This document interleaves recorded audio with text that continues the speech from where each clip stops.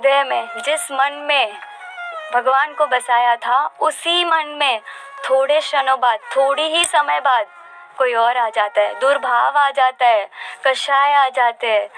जिन आँखों से भगवान के दर्शन किए थे, उन्हीं आँखों से गंदी चीज़ें देखते हैं हम। अरे, जिस जिस मुँह से भगवान की स्तुति की थी, स्तवना की थी, उसी मुँह से किसी के लिए गाली निकलती है, निंदा निकलती है। किसी की बुरी बुरी बातें निकलती है। कैसे? जिन हाथों से भगवान को स्पर्श किया था, उनकी पूजा की थी, उन्हीं हाथों से कितने गंदे काम करते हैं हम।